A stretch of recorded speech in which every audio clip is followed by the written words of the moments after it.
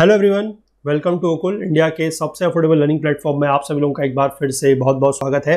आइए अपने certificate physical and human geography by G C Leong के कोर्स को आगे बढ़ाएँगे। और हम लोग बात कर रहे हैं चैप्टर नंबर 24 में cool temperate eastern margin climate जिसको लॉरेंशियन क्लाइमेट भी बोला जाता है। तो ये इस बुक का जो है सेकेंड लास्ट चैप्टर है। इसके बाद सिर्फ़ एक चैप्टर और बचेगा that is chapter number twenty उसको भी हम लोग आगे करेंगे, लेकिन पहले हम बात अगर इस चैप्टर की करें तो इसका जो पिछला पार्ट है जिसमें हमने इस चैप्टर को स्टार्ट किया था, उसमें हमने ये देखा था कि कहाँ कहाँ पर ये पाया जाता है। है ना? देखा, दो रीजन में पाया जाता है। एक तो आपका जो नॉर्थ अमेरिका वाला रीजन है वहाँ पर और दूसरा हमारा जो एशियाटिक रीजन है वहाँ पर। है यानी ये जो northern China Korea north Japan वाला रीजन है। तो हमने वहाँ पर एक चीज़ समझी कि डिस्ट्रीब्यूशन देखा क्लाइमेट देखा और क्लाइमेट में ये देखा कि यहाँ पर जनरली क्या होता है कि जो विंटर्स हैं, वो काफ़ी ज़्यादा कोल्ड है। है ना? वहाँ पर बर्फ़ वगैरह पड़ रही है। और हमने एक बहुत इंपॉर्टेंट चीज़ जो समझी पिछले लेक्चर में, वो ये थी कि इन दोनों जगह पर ही, अगर हम जापान के कोस्ट की तरफ़ को बात करें, या फिर जो हमारा नॉर्थ अमेरिका रीजन का जो न्यू फाउंडलैंड वाला रीजन है, उसके पास अगर हम बात करें तो वहाँ पर दोनों जगहों पर ही क्या हो रहा है कि वार्म करंट्स और कोल्ड करंट्स जो है वो आपस में मिल रहे हैं, और वहाँ पर बहुत बढ़िया फिशिंग ग्राउंड बन रहा है। तो यहाँ से भी हम कुछ इकोनॉमिक एक्टिविटीज़ के बारे में समझ सकते हैं, या फिर हम कहें कि नेचुरल वेजिटेशन के बारे में समझ सकते हैं। अगर सर्दियाँ बहुत ज़्यादा है विंटर्स अगर बहुत ज़्यादा एक्सट्रीम हो रहे हैं तो फिर कैसा आपको यहाँ पर जो है वेजिटेशन वगैरह देखने को या इकोनॉमिक एक्टिविटीज़ देखने को मिल सकती है। तो इसी को लेकर हम लोग आज बात करेंगे और कोशिश करेंगे कि थोड़ा सा अगर लेक्चर लंबा भी हुआ तो कोई बात नहीं, कोशिश करेंगे कि इस लेक्चर को हम लोग मतलब इस चैप्टर को इसी लेक्चर में कंप्लीट कर लें। तो चलिए स्टार्ट करते हैं अपने पार्ट सेकेंड को।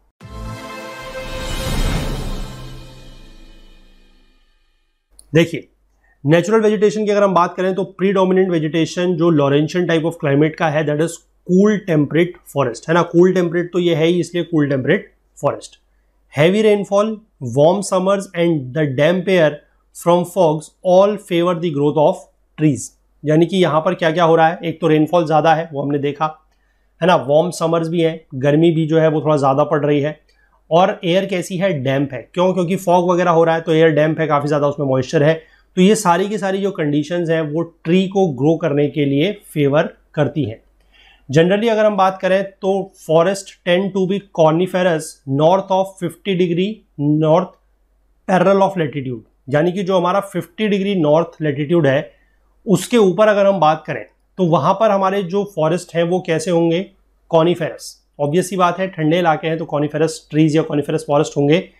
और the increase in the length and severity of the winter excludes forest that are not adaptable to cold conditions है ना? क्योंकि यहाँ पर हमने देखा था कि विंटर जो है they are long long winters हैं और उनमें सीवियरिटी भी ज़्यादा है, यानी कि ठंड वगैरह ज़्यादा पड़ रही है, ज़्यादा स्नो वगैरह हो रहा है। तो यहाँ पर ऐसे फॉरेस्ट नहीं हो सकते जो कोल्ड कंडीशंस को अडेप्ट ना कर पाए। अब जैसे कॉनिफेरस के बारे में तो हमें पता है, हमने पिछले चैप्टर में भी बात करी है। कि कॉनिफेरस ट्रीज या कॉनिफेरस फॉरेस्ट आपके वहीं पर होंगे जहाँ पर ज़्यादा कोल्ड कंडीशन है। तो यहाँ पर ये चीज़ देखने को मिलेगी। एशियाटिक रीजन में हम बात करें, जो हमारे ईस्टर्न साइबेरिया या कोरिया वाला रीजन है, वहाँ पर coniferous forest are in fact a continuation of the great coniferous belt of the taiga जो हमने साइबेरियन टैगा देखा था पिछले चैप्टर में, वहाँ पर भी हमने देखा था कि कॉनिफेरस फॉरेस्ट थे। तो ये वाला रीजन भी लगभग क्या है कि उसी का एक कंटिन्यूएशन है। है ना, वहाँ पर भी कॉनिफेरस थे, यहाँ पर भी कॉनिफेरस है तो ये पूरा का पूरा एक कंटिन्यूएशन में ही एक बेल्ट चल रही है। अब कॉनिफेरस वाले जो फॉरेस्ट है या कॉनिफेरस वाला जो रीजन है, वहाँ पर हमें पता है कि lumbering has always been a major occupation of this sparsely populated part of the eastern Asia and timber is a leading export item है ना, वहाँ पर लुम्बरिंग वगैरह की जाती है, ये चीज़ हमने पिछले चैप्टर में ही देखी है तो ये तो वहीं से कंटिन्यूएशन चल रहा है। इसके बाद much of the original coniferous forest जैसे कि fir spruce larch they have been cleared as a result of lumbering rather than agriculture मतलब उनको काटा तो गया है फॉरेस्ट को क्लियर किया गया है, लेकिन लुम्बरिंग पर्पज के लिए किया गया है एग्रीकल्चर के लिए नहीं किया गया है। क्योंकि एग्रीकल्चर तो देखिए विंटर जहाँ पर इतने ज़्यादा होंगे, लंबे होंगे एक्सट्रीम होंगे तो वहाँ पर एग्रीकल्चर तो बहुत ज़्यादा पॉसिबल वैसे भी नहीं है। इसके बाद अगर हम जो नॉर्थ अमेरिका वाला रीजन है, वहाँ की बात करें तो ईस्टर्न कनाडा में along the banks of Saint Lawrence river वो कैनेडियन टिम्बर और वुड पल्प इंडस्ट्री का क्या है? हार्ट है, यानी कि केंद्र है। ये चीज़ भी हमने देखी थी। पिछले चैप्टर में हमने यही बात की थी कि वुड पल्प वगैरह जो है वो कनाडा वाले रीजन से यूएस वाले रीजन से काफ़ी ज़्यादा मिलता है है ना? इसके बाद अगर हम बात करें 50 डिग्री नॉर्थ का जो लेटीट्यूड है उसके साउथ में तो वहाँ पर कॉनिफेरस नहीं होगा। वहाँ पर कॉनिफेरस फॉरेस्ट जो है वो डेसिडुअस फॉरेस्ट को क्या करेगा? रास्ता देगा। मतलब वहाँ पर कॉनिफेरस फॉरेस्ट नहीं होंगे, वहाँ पर डेसिडुअस फॉरेस्ट होंगे। अब उसकी जो मेन स्पीशीज है, वो आपकी ओक बीच मैपल बिर्च ये प्रिंसिपल स्पीशीज वहाँ पर पाई जाएँगी। Like their counter part in the western margin the deciduous forest are fairly open जो इसका काउंटर पार्ट है, जो ईस्टर्न मार्जिन से अगर हम वेस्टर्न मार्जिन की तरफ़ को जाते हैं तो वहाँ पर हमने देखा था कि डेसिडुअस फॉरेस्ट है और वो फेयरली ओपन है, बहुत ज़्यादा डेंस नहीं है। तो यहाँ पर भी ऐसा ही है। लॉन्ग ग्रोइंग सीज़न है, छह महीने से लंबा और एडिक्वेट सप्लाई है moisture from the maritime sources encourage the rapid growth of ferns and other temperate under growth हो क्या रहा है? एक तो जो ग्रोइंग सीज़न है वो काफ़ी लंबा है है ना? क्योंकि सर्दियों का सीज़न तो ग्रोइंग होगा नहीं। स्प्रिंग सीज़न समर सीज़न वो ग्रोइंग सीज़न है।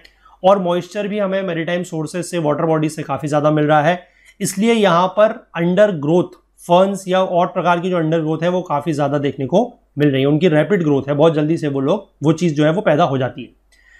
The occurrence of trees in almost pure stand है ना? यहाँ पर भी जो ट्रीज है, वो प्योर स्टैंड में पाए जा रहे हैं। प्योर स्टैंड का मतलब मैंने आपको पहले ही बताया है कि मिक्सचर ऑफ़ स्पीशीज नहीं है है ना? एक जगह पर आपको जनरली जो है, एक ही स्पीशीज के बहुत सारे पेड़ देखने को मिलेंगे that is known as pure stand and the predominance of only a handful of species greatly enhance the commercial value of these forest है ना? और predominance of only of only a handful of species मतलब कुछ ही प्रजातियाँ हैं जो बहुत ज़्यादा नंबर में पाए जाते हैं।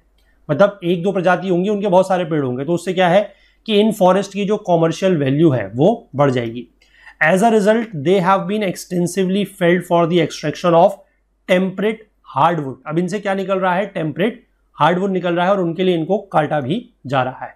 In many parts of Manchuria Korea Japan the forest have made way for plough forest basically जो है, वो प्लॉ के भी यूज़ हो रहा है। मतलब वहाँ पर कुछ एग्रीकल्चर वगैरह भी हो रहा है।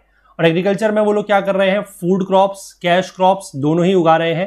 कैनेडा की अगर हम बात करें तो वहाँ पर greater reserve of coniferous softwood है and their overriding importance in industrial uses the annual production of deciduous hardwood is much less significant तो कैनेडा वाले रीजन में जनरली जो है, ये डेसिडुअस हार्डवुड जो है, वो जनरली नहीं, उसका एनुअल प्रोडक्शन बहुत कम हो रहा है।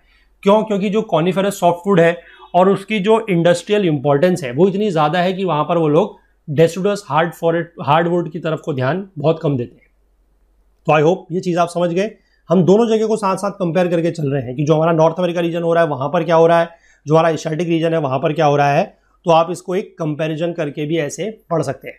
इसके बाद अगर हम इकोनॉमिक डेवलपमेंट की बात करें तो lumbering and its associated timber paper and pulp industries are the most important economic undertaking है ना? इसके बारे में हम लोग लिखा भी है, देखिए चैप्टर 22 में पढ़ चुके हैं डिटेल में। एग्रीकल्चर जो है वो यहाँ पर काफ़ी लेस इंपॉर्टेंट है in view of the severity of the winter and its long duration क्योंकि यहाँ पर विंटर कैसा है? सीवियर है।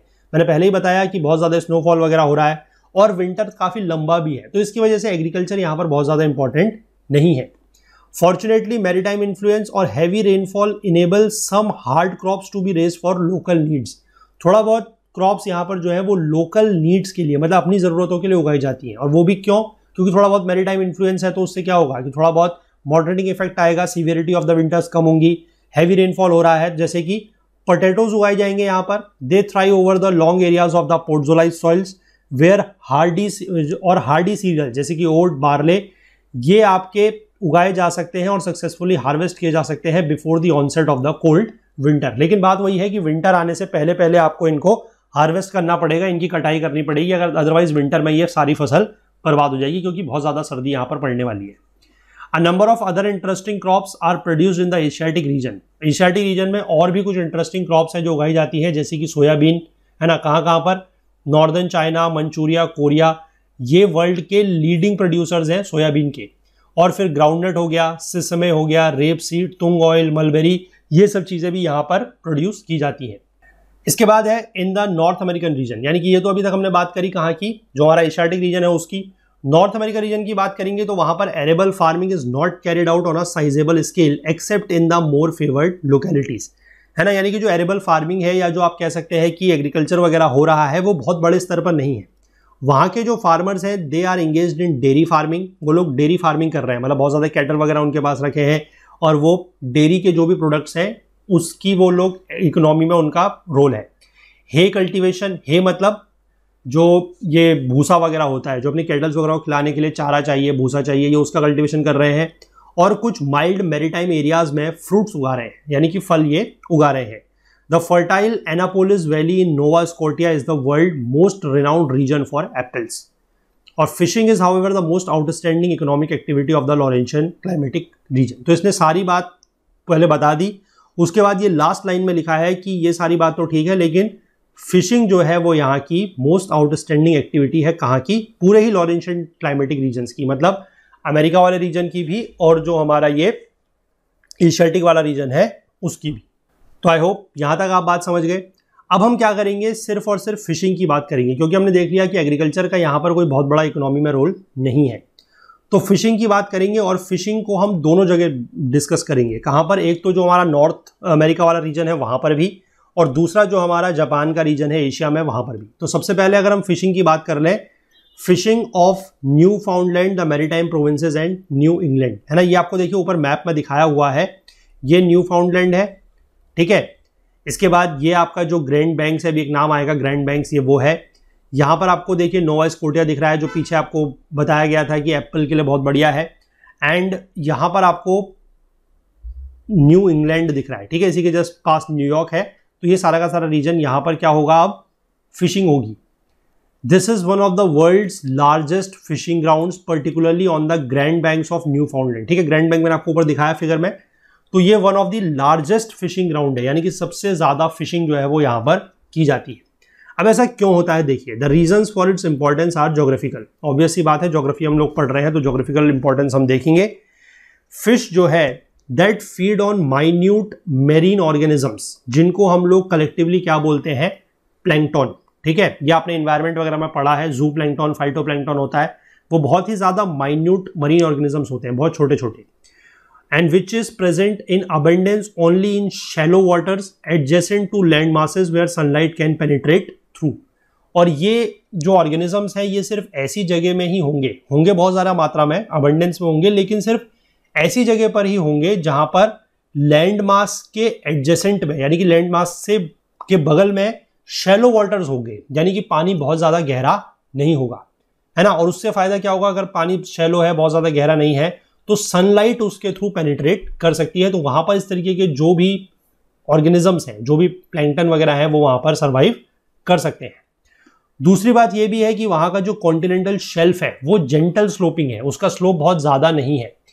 और 600 फीट की गहराई है and which stretch for over 200 miles south east of Newfoundland और न्यू फाउंडलैंड से लगभग 200 माइल तक वो जो है आपका लाए करता है। क्या? जो कॉन्टिनेंटल शेल्फ है वो। तो आप समझ सकते हैं कि बहुत ज़्यादा वहाँ पर एकदम से गहरा नहीं होगा।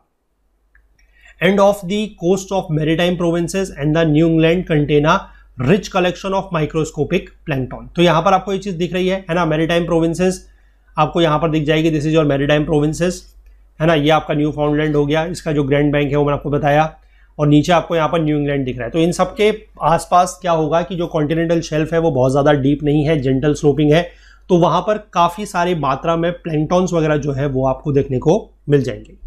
इसके बाद यहाँ पर फ़िश ऑफ़ ऑल टाइप्स हर प्रकार की और हर साइज़ की फ़िश जो है, वो यहाँ पर फ़ीड और ब्रीड करती है। And support a thriving fishing industry not only in Canada and USA but also in countries like Norway France Britain Portugal Denmark Russia and Japan, who send fishing fleets to the Grand Banks यानी कि यहाँ पर इतनी ज़्यादा fishing होती है या इतनी ज़्यादा मछलियाँ पाई जाती हैं कि सिर्फ़ और सिर्फ़ कनाडा और यूएसए की ही फिशिंग इंडस्ट्री यहाँ पर निर्भर नहीं है, बल्कि और जगह की भी फिशिंग इंडस्ट्री जो है वो यहाँ से फिशेज वगैरह ले जाती है। अभी यहाँ पर देखिए, जापान का नाम भी दिया गया है है ना? अभी मैं आपको आगे बताऊँगा इसका इंपॉर्टेंस क्या है। इस, ये नाम यहाँ पर क्यों दिया गया है? हालाँकि हम लोग जापान को अलग से डिस्कस करेंगे, लेकिन फिर भी ये नाम यहाँ पर दिया गया है तो इसको अभी आप ध्यान रखिएगा। इसके बाद क्या लिखा है?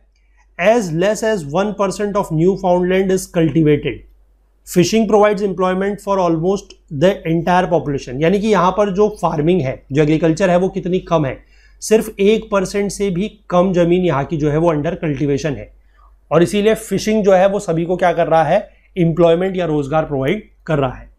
It is not only the chief source of wealth to Newfoundland but also a major export item of all the Maritime provinces. यानी कि यह सिर्फ़ और सिर्फ़ न्यू फाउंडलैंड के लिए ही एक वेल्थ का एक पैसे का एक मुख्य स्रोत है, ऐसा नहीं है। बल्कि ये सारे के सारे मेरीटाइम प्रोविंसेस के लिए एक मेजर एक्सपोर्ट का काम करता है। यानी कि सब जगह से क्या होगा कि बहुत ज़्यादा मात्रा में जो फिशेज वगैरह है, वो एक्सपोर्ट की जाएँगी, है ना? तभी तो ये ऊपर जितने भी नाम दिए गए हैं, ये तभी सारी की सारी जो फिशिंग इंडस्ट्री है, वो तभी चल सकती हैं, जब यहाँ से मछलियाँ जाएँगी इधर, है ना?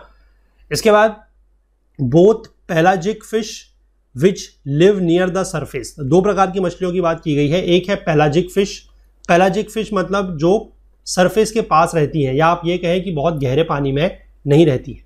और दूसरी फ़िश है that is demersal fish which live near the bottom of the shallow seas यानी कि जो सेलो शीज है। सेलो मतलब बहुत ज़्यादा गहरे तो नहीं है, लेकिन उनके ये डीप में रहेंगी, ये सरफेस पे नहीं है। They are deep sea fish the chief fish caught is called जो मुख्य तौर पे फ़िश यहाँ पर पकड़ी जाती है, वो है कॉल्ड जिसको या तो फ्रेश कंज्यूम कर सकते हैं, या ड्राइड सॉल्टेड स्मोक्ड कैंड और packed in ice for export to mainland America Central and South America and southern Europe मतलब किसी भी तरीके से उसको कंज्यूम करा जा सकता है या फिर उसको एक्सपोर्ट भी कर सकते हैं। सेंट्रल अमेरिका में करेंगे, है ना? और आपका साउथ अमेरिका में करेंगे साउदर्न यूरोप में करेंगे, हर जगह उसका एक्सपोर्ट हो सकता है। साथ ही साथ जो इसकी लिवर का ऑयल होता है that is called liver oil ये भी एक्सपोर्ट किया जाता है। है ना? कॉल्ड लिवर ऑयल का आपने देखा होगा कि उसकी कुछ टैबलेट्स मिलती हैं, गोलियाँ सी मिलती हैं। That is called liver oil मछली के तेल की गोलियाँ, उसमें बोला जाता है कि they are very good for your eyes है ना? उस चीज़ के उसमें विटामिन वगैरह काफ़ी ज़्यादा होता है। फिर कुछ और मछलियाँ जो यहाँ पर पकड़ी जाती हैं they are haddock halibut hake herring plaice mackerel ये सारी मछलियाँ भी यहाँ पर पकड़ी जाती हैं। Various kind of fishing craft and techniques are employed to obtain maximum harvest from the sea यानी कि मछलियाँ पकड़ने के लिए ये बहुत सारी टेक्निक्स का क्राफ्ट का इस्तेमाल करते हैं। मॉडर्न ट्रॉलर्स का यूज़ किया जा रहा है। ट्रॉलर्स बेसिकली ऐसी ही स्पेशलाइज बोट होती थी जो फिशिंग के लिए यूज़ की जाती थी। अब आजकल वो भी थोड़ा सा मॉडर्न टेक्नोलॉजी से उनमें आ गई है। इसके बाद जो ड्रैगिंग है, वो कोनिकल शेप्ड नेट और ड्रिफ्टर से हो रही है। Carrying curtain like rectangular nets operate extensively off the Atlantic coast तो ये सारे के सारे बेसिकली आप कह सकते हैं कि जो नेट्स वगैरह का यूज़ कर रहे हैं, कैसा जाल यूज़ कर रहे हैं, किससे ये मछलियाँ पकड़ रहे हैं, वो दिया गया है। They are equipped with radio and radar devices to navigate through the dense fog avoid collision with icebergs and also maintain contact with their headquarters on land अब ये जब कोस्ट से दूर है, और वहाँ पर मैंने आपको बताया, आपको याद रखना है कि वहाँ पर क्या होता है, बहुत ज़्यादा डेंस फॉग गहरा कोहरा होता है, घना कोरा तो अभी उस घने कोने में चलने के लिए इनको क्या चाहिए? एक तो इनको रडार चाहिए, जिससे ये डायरेक्शन वगैरह देखते रहे रेडियो इनको सिग्नल चाहिए, है ना? तो उससे एक तो फॉग से ये बच सकते हैं। दूसरा जो आइसबर्ग्स वगैरह हैं आइसबर्ग्स वगैरह मतलब जो बड़े बड़े आइस के टुकड़े आपके वाटर बॉडी में होते हैं उनसे भी बचना है। और साथ ही साथ जो है वो अपने हेडक्वार्टर के साथ कांटेक्ट भी रखना है, क्योंकि इनके हेडक्वार्टर वगैरह लैंड में होंगे तो उनसे भी कांटेक्ट इनको रखना है तो इसके लिए ये लोग रेडियो और रडार डिवाइसेस का यूज़ करते हैं। जो ऑफ़ शोर फिशरमैन है they also use traps lines and nets to catch crabs lobsters and shrimps for home consumption and increasingly for export तो ये सिर्फ़ और सिर्फ़ मछलियाँ ही नहीं पकड़ते। कभी आपने ऐसा जो है, वो नेशनल जोग्राफिक चैनल में या जो आपका डिस्कवरी वगैरह आता है, उसमें दिखाते हैं किस तरीके से लोग बोट में जाते हैं ऑफ़ शोर जाते हैं, वहाँ पर से क्रैब लॉबस्टर्स ये सब चीज़ें जो है, वो पकड़ के लाते हैं। फर्दर इंलैंड की अगर हम बात करें तो लेक्स और रिवर्स में, जैसे कि सेंट लॉरेंस और जो ग्रेट लेक्स हैं वहाँ पर कुछ फ्रेश वाटर फ़िश भी पाई जाती है, जैसे कि सालमन ट्राउट ईल स्टोर्जियंस ये सब। न्यू फाउंडलैंड में और अलॉन्ग दी एटलांटिक कोस्ट अगर हम बात करें तो बहुत सारे फिशिंग पोर्ट्स हैं, जैसे कि सेंट जोन्स एक चीफ पोर्ट है न्यू फाउंडलैंड का, जिसकी पॉपुलेशन है लगभग एक लाख के आसपास is the headquarters of the Grand Grand Banks fishing industry तो ग्रैंड बैंक्स फिशिंग इंडस्ट्री का ये हेडक्वार्टर है that is Saint John's it also had interest in sealing and whaling but these have decline यानी कि पहले वहाँ पर seals जो होती थी सील और वेल्स वगैरह जो होती थी, उसका भी ये लोग ये पकड़ने वगैरह काम करते थे, लेकिन धीमे धीमे वो चीज़ें अब कम हो रही हैं। In the fishing ports of Halifax and Yarmouth in Nova Scotia and New England ports are processing plants that cut clean salt pack और preserve fishes for disposal by refrigerated boats train और trucks to all parts of the continent तो basically हो क्या रहा है कि मछली पकड़ने का जो मेन काम हो रहा है, वो आपका कहाँ पर हो रहा है? जो ये सेंट जोन्स वाला पोर्ट है वहाँ पर। उसके बाद जो उसको प्रोसेस करने का काम है कि सफ़ाई करनी है, उसकी कटिंग करनी है, उसको पैक करना है प्रिजर्व करना है, वो सारा का सारा काम आपके नोवा स्कोटिया और न्यू इंग्लैंड के जो पोर्ट्स हैं वहाँ पर हो रहा है। और उसके बाद फिर वो उसको क्या करेंगे? प्रिजर्व वगैरह करके पैक वगैरह करके रेफ्रिजरेटेड बोट्स ट्रेन या ट्रक के थ्रू कॉन्टिनेंट के अलग अलग हिस्से में पहुंचाएँगे। They are the basis of for large fleets of trawler base मतलब जहाँ पर ये बड़े बड़े जो ट्रॉलर्स वगैरह हैं, वो खड़े रहते हैं, है ना? क्योंकि वहाँ पर एक तरीके से बहुत बड़ा, आप कह सकते हैं पोर्ट बन गया है तो वहाँ पर ये ट्रॉलर्स वगैरह रहते हैं तो उनका ये बेस है। अब मॉडर्न ट्रॉलर जो है may well cost anything around a million dollars and have man stay on board in floating factories far out at sea for days and even weeks यानी कि आजकल के जो मॉडर्न ट्रॉलर है वो थोड़ा सा महँगे भी हैं, एक मिलियन डॉलर के आसपास है, लेकिन उनमें फैसिलिटीज़ ज़्यादा है। उसमें क्या है कि लोग जो है फार आउट एट सी मतलब समुद्र में जो है बहुत दिनों तक या हफ्तों तक भी रह सकते हैं। Fishing in this part of the world is highly specialised and very efficient तो यहाँ पर जो फिशिंग हो रही है, वो काफ़ी ज़्यादा स्पेशलाइज्ड है और बहुत एफिशिएंट तरीके से हो रही है। In fact over fishing is a growing problem over fishing हो रही है मतलब जितनी फिशिंग होनी चाहिए उससे ज़्यादा फिशिंग हो रही है तो ये एक प्रॉब्लम है। अब इसी को लेकर जो यूनाइटेड स्टेट्स की गवर्नमेंट है और कुछ इंटरनेशनल फिशिंग बॉडीज़ हैं they are now contemplating strict measures in fish conservation वो फ़िश की कंजर्वेशन को लेकर कुछ स्ट्रिक्ट मेजर्स या कुछ खड़े कदम उठा रहे हैं। If this major source of protein food is to be sustain for regular supply in the years to come क्योंकि ऑब्वियस ही बात है, अगर ओवर फिशिंग होगी तो क्या होगा? ओवर एक्सप्लोटेशन किसी भी रिसोर्स का होता है तो वो क्या होता है? डिप्लीट होता है, खत्म हो जाता है। तो सिमिलरली फिशिंग के केस में भी यही होगा कि अगर ज़्यादा ओवर फिशिंग की जाएगी तो आने वाले समय में फिर वो खत्म हो जाएगी। तो इसलिए अगर हम चाहते हैं कि ये जो इस एरिया का मेजर सोर्स है, किसका? प्रोटीन फ़ूड का। क्योंकि यहाँ पर अभी हम देखते हैं, थोड़ा सा आगे लिखा जाएगा कि यहाँ पर आपको मीट वगैरह नहीं मिलेगा। क्यों? क्योंकि देखिए, ये चीज़ मतलब आप थोड़ा सा आई थिंक कनेक्ट कर पा रहे होंगे। एग्रीकल्चर नहीं है है ना? कैटल अगर आप अपने पास रखेंगे या आप अपने कोई भी और इस तरीके के शीप गोट वगैरह कोई भी जानवर रखेंगे तो उनको खिलाएँगे क्या? घास? लेकिन घास यहाँ पर होगी नहीं। क्यों नहीं होगी? क्योंकि यहाँ पर कल्टीवेशन बहुत ही कम है। नेचुरल वेजिटेशन में देख लिया, या तो कॉनिफेरस फॉरेस्ट है, या फिर जो नीचे वाले इलाके हैं, वहाँ पर डेसिडस फॉरेस्ट है। तो घास वगैरह का तो नाम हमने कहीं लिया ही नहीं। और कैटल को आप कॉनिफेरस ट्रीज के पत्ते तो खिलाएँगे नहीं, वो तो घास खाएगा। कैटल वगैरह, है ना?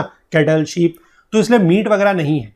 और मीट वगैरह अगर नहीं है तो मछली जो है, जो फ़िश है, वो प्रोटीन का एक बहुत बढ़िया सोर्स है। तो इसलिए अगर हम ये चाहते हैं कि ये जो सोर्स है प्रोटीन का, वो लंबे समय तक चलता रहे, उसकी रेगुलर सप्लाई आने वाले सालों में होती रहे तो फ़िश की कंजर्वेशन जो है वो करनी पड़ेगी। इसी को लेकर इंटरनेशनल फिशिंग बॉडीज ने और यूनाइटेड स्टेट्स की गवर्नमेंट ने कुछ कड़े कदम उठाने की बात की है। तो ये तो पूरी की पूरी बात हो गई, जो आपका North America region Newfoundland वाला रीजन था। वहाँ पर फिशिंग कैसे हो रही है, उसको लेकर। अब इसके बाद हम बात करेंगे फिशिंग ऑफ़ जापान। जो जापान के पास फिशिंग हो रही है, उसकी बात करेंगे। तो north west Pacific surrounding the islands of Japan is another major fishing area of the world. है ना? नॉर्थ पैसिफिक वेस्ट जो है मतलब जो नॉर्थ वेस्ट पैसिफिक मतलब जो पैसिफिक ओशियन का नॉर्थ वेस्ट पार्ट है, जहाँ पर जापान का आइलैंड लगता है, वो एक और मेजर फिशिंग एरिया है वर्ल्ड का। Nowhere else in the world are there so many people engage in fishing as in this part of the north west Pacific यानी कि दुनिया में कहीं पर भी ऐसा नहीं है जहाँ पर इतने सारे लोग इस फिशिंग की एक्टिविटी से जुड़े हुए हैं जितने यहाँ पर है। कहाँ पर? नॉर्थ वेस्ट पैसिफिक वाले रीजन में, यानी कि जापान वाले रीजन में। इसके बाद the mountainous nature of Japan and parts of the mainland eastern Asia have driven many to sea का लाइवलीहुड फ्रॉम द सी यानी कि यहाँ पर एक तो क्या है कि माउंटेनियस नेचर है। जापान में बहुत सारे माउंटेन्स वगैरह हैं, है ना? और उसके बाद जो मेनलैंड का एरिया है ईस्टर्न एशिया का, उसने क्या करा है कि लोगों को यहाँ पर मजबूर करा है। एक तरीके से आप कह सकते हैं कि अपनी आजीविका उनको समुद्र से ही कमानी पड़ेगी। दूसरी बात स्कारसिटी ऑफ़ मीट मैंने बताया वहाँ पर पास्चर नहीं है। There is a little pasture in Japan for livestock farming of any kind और पास्चर्स अगर नहीं है, खेत अगर नहीं है, घास के मैदान नहीं है तो फिर आप लाइव स्टॉक फ़ार्मिंग नहीं कर सकते। तो इसलिए क्या होगा कि इस मीट नहीं मिलेगा। और दूसरी बात रिलीजियस रीजंस भी वहाँ पर कुछ है, जिन्होंने फिशिंग को पॉपुलराइज किया है as a principal item of diet and the chief protein food of the Japanese and the Chinese as तो जैपनीज और चाइनीज़ जो है, वो मछली को ज़्यादा खाते हैं। हालाँकि आपने चाइनीज़ के बारे में तो खैर न्यूज़ वगैरह में देखा होगा या आपने ऐसे वीडियोज़ वगैरह देखे होंगे कि वो तो सब कुछ खा लेते हैं, है ना? वो तो पता नहीं क्या क्या खाते हैं और सब कुछ खाते हैं। लेकिन फिर भी यहाँ पर जो चीज़ लिखी है, हमें उसके आधार पर बात करनी है। तो फ़िश को ये एज अ चीफ अपने प्रोटीन फ़ूड मानते हैं मतलब चीफ सोर्स ऑफ़ प्रोटीन। इसके बाद लार्ज क्वांटिटीज ऑफ़ फ़िश और fish products are either canned और preserve for export to neighbouring countries तो खुद तो कंजम्पशन कर ही रहे हैं, साथ ही साथ यहाँ पर इतना ज़्यादा प्रोडक्शन हो रहा है कि ये उसको नेबरिंग कंट्रीज़ में भी एक्सपोर्ट करते हैं। चाहे कैन में डाल के करें, चाहे प्रिजर्व करके करें, जो भी है, वो उनकी टेक्निक है। The Japanese also make use of fish waste fish meal and seaweeds as fertilisers in their farms तो ये जो जैपनीज है, ये बहुत ज़्यादा, आप कह सकते हैं एडवांस लोग हैं, है ना? इसीलिए ये देखिए, कुछ भी चीज़ को वेस्ट नहीं जाने दे रहे। जो फ़िश का वेस्ट है, जो फ़िश का मील है, जो सीवीड है, उसको भी ये अपने फार्म्स में फर्टिलाइज़र के तौर पर यूज़ कर रहे हैं। Japan is one of the few countries that has taken to seaweed cultivation यहाँ पर सी वीड कल्टिवेशन भी हो रहा है। Coastal farms that are submerged in water grow weed for sale as fertilisers chemical ingredients and even as food तो जो coastal farms है, जो बेसिकली पानी के अंदर डूबे हुए हैं, वहाँ पर कुछ वीड्स वगैरह उगाई जा रही हैं, जो सी वीड्स वगैरह हैं, जिनका यूज़ या तो फर्टिलाइज़र के तौर पर किया जाएगा, या फिर किसी केमिकल इंग्रेडिएंट के तौर पर और या फिर फ़ूड के तौर पर। Another interesting aspect of Japan fishing is pearl culture pearl मतलब मोती। ये लोग मोती का भी जो है वो वो कर रहे हैं कि मोती भी निकाल के ला रहे हैं। देखिए कैसे। जो साउथ जापान है, उसके जो डाइवर्स वगैरह हैं, डाइवर्स वगैरह मतलब जो गोताखोर होते हैं, वो कोस्टल वाटर्स में काफ़ी नीचे तक जा रहे हैं, डाइव डाउन कर रहे हैं and bring to the surface और सरफेस पर वो क्या लेके आ रहे हैं? शेल फ़िश जिसको पर्ल ऑस्टर्स बोला जाता है, और उससे वो हाईली प्राइज्ड पर्ल जो होगा, उसको एक्सट्रैक्ट करेंगे, जिसको ऑर्नामेंट के तौर पर बेचा जाएगा। Pearl is nothing but the मोती, जो मैंने आपको बताया कि मोती का ये क्या कर रहे हैं, निकाल रहे हैं, मोती का भी ये लोग कल्चर कर रहे हैं। कल्चर करना मतलब बेसिकली आप कह सकते हैं कि उसको लेकर ये लोग ट्रेड वगैरह कर रहे हैं या एक्टिविटी कर रहे हैं। The lining of the oyster shells जिसको मदर ऑफ़ पर्ल बोलते हैं is use for the manufacture of pearl buttons and other decorative articles तो जो ऑयस्टर होता है, उसके जो बाहर की लाइनिंग होती है, जिसको मदर ऑफ़ पर्ल बोलते हैं, उसको भी ये पर्ल बटन और कुछ और डेकोरेटिव आर्टिकल्स बनाने के लिए यूज़ कर रहे हैं। As natural pearls in oysters are difficult to obtain in large numbers क्योंकि जो ऑयस्टर होगा, उसके अंदर पर्ल होता है। है ना? तो उस ऑयस्टर के अंदर जो पर्ल है, वो नेचुरल पर्ल मिलना बहुत ज़्यादा आसान नहीं है। लार्ज नंबर्स में वो आसानी से नहीं मिलता। तो इसलिए जैपनीज ने क्या करना शुरू किया है? मैं फिर से कह रहा हूँ, देखिए टेक्नोलॉजी देखिएगा इनकी। और हर जगह इन्होंने कुछ ना कुछ जो है, अपना इंतज़ाम कर रखा है। तो Japanese have began to breed the young oysters इन्होंने यंग ऑयस्टर्स को ब्रीड करना शुरू कर दिया है। उससे ही क्या करते हैं? By injecting tiny seeds into them ये उसमें टाइनी सीड्स इंजेक्ट करते हैं and oysters are made to secrete the pearl material oyster जो है वो पर्ल को सिक्रीट करते हैं। तो which accumulates to form the cultured pearls these are collected and exported तो इस तरीके से ये पूरा का पूरा पर्ल का जो व्यापार है, जो मोती का व्यापार है वो कर रहे हैं। इसके बाद जो जैपनीज इंटरेस्ट है in fishing is not confined to their own territorial waters they venture far and wide into the Arctic, Antarctic and Atlantic waters. देखिए, यहाँ पर अब आपको याद आएगा जो मैंने पीछे आपको जापान मार्क कराया था कि जापान सिर्फ़ और सिर्फ़ अपने ही टेरिटोरियल वाटर में या अपने ही देश के पास जो है वो फिशिंग नहीं कर रहा है, बल्कि वो बहुत दूर तक जा रहा है। आर्कटिक ओशन में जाता है, एंटार्कटिक में जा रहा है एटलांटिक में जा रहा है, हर जगह जाके वो फिशिंग कर रहा है। लार्ज वेलिंग फ्लीट जो है they complete with processing plants and experienced crew stay out in the open seas and return only occasionally for refuelling या फिर रिप्लेनिशमेंट ऑफ़ फ्रेश प्रोविजंस जो ये वेलिंग फ्लीट्स वगैरह हैं, वो काफ़ी ज़्यादा एडवांस्ड हैं. उनमें प्रोसेसिंग प्लांट्स हैं, उनका जो क्रू स्टाफ है, वो काफ़ी ज़्यादा एक्सपीरियंसड है. वो ओपन सीज में, यानी कि खुले समुद्र में, वो काफ़ी दिनों तक रह सकता है और रिफ्यूलिंग के लिए या उनको कुछ अगर फ्रेश चीज़ें चाहिए तो उसके रिप्लेनिशमेंट के लिए वो यहाँ पर आते हैं. अदरवाइज़ वो खुले समुद्र में ही रहते हैं. तो वहाँ पर उनकी टेक्नोलॉजी आप देखिए कितनी ज़्यादा एडवांस है. As a nation Japan accounts for a six of the world total annual fish caught यानी कि इस पूरे के पूरे वर्ल्ड में जितनी भी मछलियाँ साल भर में पकड़ी जा रही हैं, उसका वन सिक्स तो जापान ही पकड़ रहा है। She is the world greatest fishing nation today आज की डेट में सबसे बड़ा जो फिशिंग नेशन है, वो जापान है। Her active participation in international fishing enterprises and her advanced fishing techniques speak well of her relentless drive to make good from the sea what she lacks on land अब land से तो ये ज़्यादा क्या कर पा रहा है? इकोनॉमिक एक्टिविटी कर नहीं पा रहा है। और इसकी जो टेक्नोलॉजी है, जो टेक्निक्स वगैरह हैं, मछली से रिलेटेड मतलब मछली को पकड़ने से लेकर उसके ट्रेड तक, वो बहुत ज़्यादा एडवांस है। तो उसकी वजह से ये लोग क्या कर रहे हैं? समुद्र से ही ज़्यादा इकोनॉमिक एक्टिविटी कर रहे हैं और लैंड के ऊपर ये ज़्यादा निर्भर नहीं है, क्योंकि लैंड से इनको ज़्यादा कुछ मिल भी नहीं रहा है। अब ऐसा क्यों हो रहा है? वाइज दिस इज़ पॉसिबल इसके कुछ यहाँ पर पॉइंट्स दिए गए हैं। पहला है कि Japan is not well endowed with natural resources Japan में पहली चीज़ तो यह है कि नेचुरल रिसोर्सेज बहुत कम है।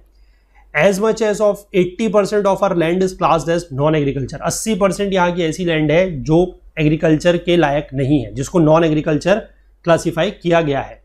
अब she has to take to the sea if she want to survive अब अब अगर वो सर्वाइव करना चाहती है तो उसको क्या करना पड़ेगा? ज़मीन पर अगर कुछ नहीं मिल रहा है तो फिर पानी की तरफ़ को जाना पड़ेगा तो इसलिए वो लोग सी की तरफ़ को गए। This has compelled the people to develop the seas and fishing has for centuries been the traditional occupation of many coastal Japanese तो इसीलिए वो सी की तरफ़ को गए और उन्होंने जो फिशिंग वगैरह है, उसको अपना एक ट्रेडिशनल ऑक्यूपेशन बना रखा है पिछले काफ़ी शताब्दियों से, पिछले काफ़ी सेंचुरीज से। इसके बाद जो कॉन्टिनेंटल शेल्व्स है around the islands of the Japan are rich in plankton वहाँ पर प्लैंकटन क्यों है? ये तो ये फिर से वही चीज़ बताई गई है कि कोराशियो और जो कोल्ड ओएशियो वार्म कोराशियो और कोल्ड ओएशियो करंट मिल रहे हैं, उसकी वजह से वहाँ पर क्या बन रहा है? प्लैंकटन वगैरह काफ़ी ज़्यादा है। तो वो एक एक्सीलेंट ब्रीडिंग ग्राउंड बन जाएगा for all kind of fish जैसे कि herring cod mackerel bonito salmon sardine tuna as well as crabs lobsters ये सारी की सारी चीज़ें जो है वो आपको वहाँ पर मिल जाएँगी। क्योंकि प्लैंकटन को क्या है? प्लैंकटन को मछली खाएगी। और जहाँ पर भी ज़्यादा प्लैंकटन होंगे, वहाँ पर ज़्यादा मछलियाँ अपने आप देखने को मिलेंगी। तो यहाँ पर जो ये करंट्स वगैरह मीट कर रहे हैं, उसकी वजह से काफ़ी रिच एरिया है ये प्लैंकटन में। और इसीलिए यहाँ पर ज़्यादातर क्या हो रहा है कि फिशेज वगैरह और साथ ही साथ फ़िश की प्रजाति भी बहुत है, साथ में क्रैब लॉबस्टर ये सब भी मिल जाएगा। इसके बाद जो इंटेंडेड कोस्ट लाइन है जापान की that provides sheltered fishing ports calm waters and safe landing places ideal for shipping industry indented coastline का मतलब मैंने आपको पहले ही बताया, जो कंटिन्यूस नहीं है है ना, थोड़ा सा टूटी फूटी सी कोस्ट लाइन है तो वहाँ पर क्या हो रहा है कि हमें एक तो शेल्टर्ड फिशिंग पोर्ट्स मिल जा रहे हैं। पानी थोड़ा सा वहाँ पर काम होगा काम वाटर बहुत तेज पानी नहीं होगा। एंड सेफ़ लैंडिंग प्लेसेस जो कि फिशिंग इंडस्ट्री के लिए बिल्कुल क्या है आइडियल कंडीशन है। In Hokkaido where Laurentian type of climate is too cold for active agriculture fishing takes first place तो वहाँ पर वही बताया मैंने आपको कि क्लाइमेट जो है बहुत ठंडा है। एग्रीकल्चर आप नहीं कर सकते, बहुत ठंडा क्लाइमेट है। तो इसीलिए फिशिंग जो है वो पहले स्थान पर बनी हुई है। इसके बाद हैकोडेट एंड कोरिश कोशिरो की हम बात करें तो these are the large fishing ports complete with refrigeration facilities तो यहाँ पर भी जो रेफ्रिजरेटिंग फैसिलिटीज़ है वो बहुत बढ़िया है। साथ ही साथ lack of lowland and pastures mean that only a few animals can be kept to supply meat and other protein food वही एक तो माउंटेन रीजन ज़्यादा है तो यानी कि लो लैंड कम है और दूसरा पास्चर्स भी नहीं है। यानी कि घास के मैदान जो है वो भी नहीं है। अब वो चीज़ नहीं है तो फिर वो एनिमल्स भी ज़्यादा नहीं रख सकते। और कम एनिमल्स होंगे, इसका मतलब मीट और अदर प्रोटीन फ़ूड की क्या हो जाएगी? सप्लाई कम हो जाएगी लिमिटेड हो जाएगी। तो fish in its all varied forms चाहे वो फ्रेश हो canned dried frozen and in the form of इस फ़िश के paste fish sauce spice condiments condiments is nothing but a kind of आप कह सकते हैं, जैसे चटनी आप मान के चलते हैं कि खाने के ऊपर आप डालते हैं तो उससे टेस्ट बढ़ता है है ना? तो वो चीज़ें जो है वो सबसे बनाते हैं। तो these take the place of meat as Japan primary source of protein food तो वो मीट तो उनके पास है नहीं तो वो इन सब चीज़ों का ही यूज़ करते हैं और अपनी प्रोटीन की जो ज़रूरत है वो ऐसे पूरी करते हैं। अब there is a great demand for it locally यानी कि फ़िश वगैरह की जो डिमांड है वो लोकली भी बहुत ज़्यादा है and for export to other Asiatic neighbours which lack the techniques of large scale commercial farming यानी कि जो उसके अपने एशिया में नेबर्स वगैरह हैं वहाँ पर ये फ़िश की एक्सपोर्ट की डिमांड भी बहुत ज़्यादा है। क्यों? क्योंकि वहाँ पर ऐसा हो सकता है कुछ देश ऐसे हों जहाँ पर लार्ज स्केल कॉमर्शियल फ़ार्मिंग करने के लिए टेक्निक ना हो, उतनी बढ़िया। तो वो फिर क्या होगा कि वो यहाँ जापान से मछली वगैरह ले लेंगे, उसको इम्पोर्ट कर लेंगे। The Japanese fishermen began with small fishing boats using nets traps and lines तो जो फिशिंग जापान के जो मछुआरे थे, जो फिशरमैन थे, उन्होंने पहले कोई शुरुआत में उनके पास कोई बहुत बड़ा ट्रॉलर नहीं था। है ना, कोई बहुत सोफेस्टिकेटेड टेक्निक टेक्नोलॉजी नहीं थी। पहले वो स्मॉल फिशिंग बोट्स का यूज़ करते थे, सिर्फ़ वो नेट्स वगैरह यूज़ करते थे मछली पकड़ने के लिए।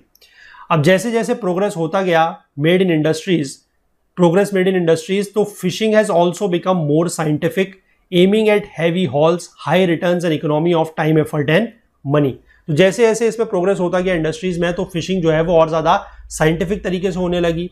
अब उनका मकसद क्या है कि उनको ज़्यादा से ज़्यादा मछली पकड़नी है, ताकि उनका जो समय लग रहा है, जो एफर्ट लग रहा है, जो पैसा लग रहा है, उसके बदले में उनको अच्छा इकोनॉमिक रिटर्न भी मिले। दो three quarters of the fishermen practice of shore pelagic fishing either full time और part time in small boats. Most of the commercial deep sea demersal fishing is now highly mechanize लगभग तीन चौथाई fisherman जो अभी भी हैं, यानी कि सत्तर, पिछहत्तर परसेंट जो वहाँ के अभी भी मछुआरे हैं, वो ऑफ़ शोर फिशिंग ही कर रहे हैं। ऑफ़ शोर मतलब समुद्र के तट से दूर। और वो भी कैसी फ़िश की जो है वो फिशिंग कर रहे हैं, कैसी मछलियाँ पकड़ रहे हैं, पैलाजिक फिशिंग। पैलाजिक फिशिंग मतलब मैंने आपको बताया कि जो मछलियाँ सरफेस पर पाई जाती हैं, या वो फुल टाइम कर रहे हैं या पार्ट टाइम कर रहे हैं, और वो भी कैसी स्मॉल बोट्स में। और लेकिन जो commercial deep sea demersal fishing हो रही है डिमर्सल फिशिंग मतलब जो गहराई पे जाके, जो मछली नीचे गहरे में रहती है, उसको लेके आने वाला जो काम है कॉमर्शियल वो ज़्यादातर अब मैकेनाइज कर दिया जा चुका है मतलब उसके लिए मशीन्स का यूज़ हो रहा है, वो मैनुअली लोगों द्वारा नहीं किया जा रहा है। Power trawlers and modern refrigeration plants backed by sound financial organizations have greatly increased the annual fish yield. तो क्या हुआ है कि काफ़ी बढ़िया ट्रॉलर वगैरह है, वहाँ पर पावरफुल ट्रॉलर है, जिनमें काफ़ी टेक्नोलॉजीज़ वगैरह यूज़ है। और रेफ्रिजरेशन प्लांट्स भी हैं, क्योंकि ऑब्वियसली बात है, अगर आप बहुत सारी मछलियों को पकड़ लेंगे, उसके बाद अगर आपके पास रेफ्रिजरेशन प्लांट्स नहीं होगा तो आप एक तो उसको प्रिजर्व नहीं कर पाएँगे। और दूसरी चीज़ यह है कि आप उसको फिर एक्सपोर्ट भी लंबे दूरी तक नहीं कर सकते तो इन सब चीज़ों की वजह से क्या हुआ है कि फ़िश की जो एनुअल यील्ड है, वो अब बढ़ने लगी है। Japan is now not only the major producer and exporter of fish and marine products but also a centre for marine and fishing research तो आज की डेट में वो लोग इतने ज़्यादा एडवांस हो चुके हैं कि वहाँ पर सिर्फ़ और सिर्फ़ फ़िश का सबसे ज़्यादा प्रोडक्शन और एक्सपोर्ट ही नहीं हो रहा है। ना कि मतलब फ़िश का या फ़िश के साथ साथ और भी जो आपके मेरीटाइम मेरीन प्रोडक्ट्स हैं, जैसे कि लॉबस्टर्स क्रैब श्रिम्स इन सब का। एक्सपोर्टर और प्रोड्यूसर तो जापान सबसे ज़्यादा है ही है।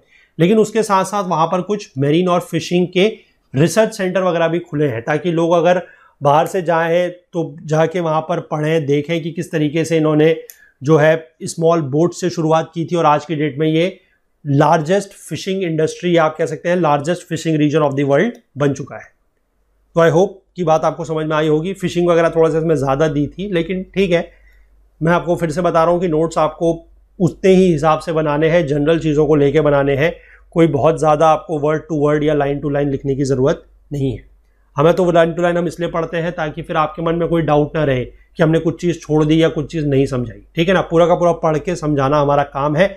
और अब तो सारे चैप्टर ऑलमोस्ट कंप्लीट हो चुके हैं, सिर्फ़ एक ही चैप्टर बचा है, उसको भी हम लोग बहुत जल्द से जल्द कंप्लीट कर लेंगे। और वो छोटा सा चैप्टर है आई थिंक दो पार्ट में वो बड़े आराम से हो जाएगा। तो कंटेंट रिलेटेड अगर आपको कोई भी डाउट होता है तो आप हमारा टेलीग्राम का group Okul G S UPSC discussion forum इसको ज्वाइन कर सकते हैं। इसको आपको टेलीग्राम पर सर्च करेंगे तो इसको मिल जाएगा और वहाँ पर अपने डाउट्स पूछ सकते हैं। फुल कोर्स में आप लोगों ने एनरोल किया हुआ है, तभी आप लोग ये वीडियोस देख पा रहे हैं। अगर आप लोग चाहें तो अपने फ्रेंड्स वगैरह के साथ भी ज़रूर इसको शेयर कीजिएगा लिंक्स वगैरह, ताकि ज़्यादा से ज़्यादा लोग हमारे कोर्स वगैरह जो है वो परचेज कर सकें। अगर आपको कोर्स को एक्सेस करने में कोई भी टेक्निकल क्वेरी आ रही है तो आप हमसे support at the rate Okul dot C O पर संपर्क कर सकते हैं, या फिर आप अपनी कोई भी बात हम तक social media platforms Facebook Instagram LinkedIn या ट्विटर के माध्यम तक भी, के माध्यम से भी हम तक पहुँचा सकते हैं। तो चलिए मिलेंगे अगले लेक्चर में। तब तक के लिए अपना बहुत बहुत ध्यान रखिएगा। Please do take care of yourself thank you have a nice day bye